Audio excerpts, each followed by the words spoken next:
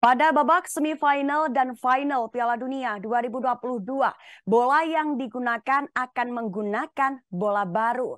Dan Al Hilm menjadi bola resmi babak semifinal dan final Piala Dunia 2022. Al Hilm menggantikan bola Al Rihla yang sebelumnya dipakai dari fase grup hingga perempat final. FIFA mengenalkan langsung Al Hilm sebagai bola resmi semifinal dan final Piala Dunia Qatar.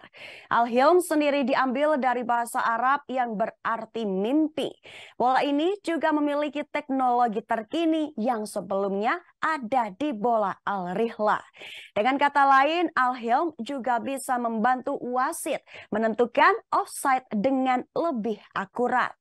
Direktur Teknologi Sepak Bola dan Inovasi FIFA Johannes Holmüller mengatakan teknologi canggih yang digunakan selama Piala Dunia 2022 terbukti membantu kinerja wasit.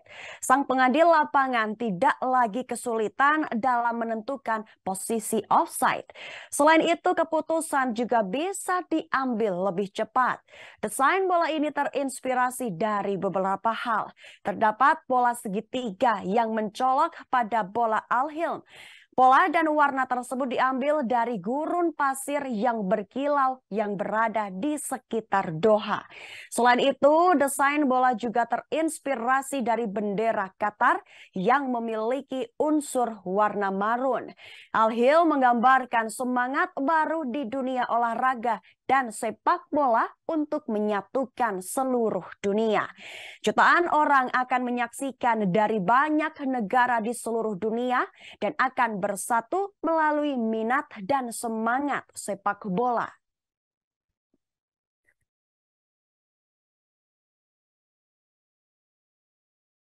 Terima kasih sudah nonton.